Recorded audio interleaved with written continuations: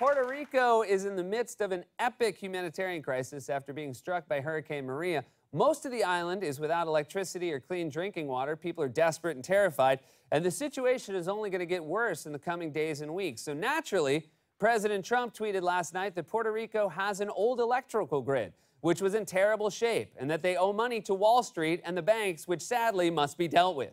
Which brings us to a segment we call Hey,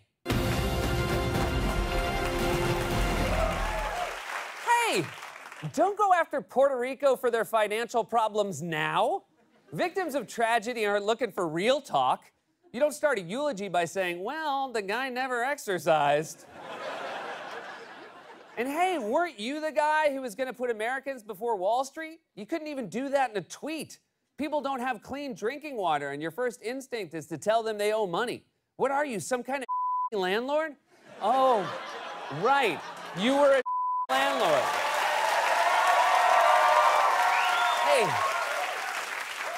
thank God. Thank God you didn't go to Vietnam. I can see it now. Trump, I'm hit. Get the medic. You still owe me $20.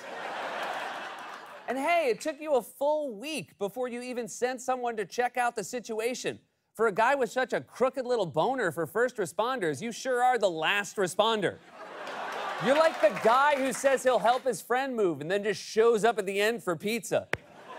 And hey, Puerto Ricans are Americans. They use American currency and carry American passports. There's an Applebee's in San Juan, and Americans in San Juan go there to get disappointed by American food. you wanted to make America great again, so I'll say it again. Puerto Rico is America. They're included in the whole Make America Great Again thing.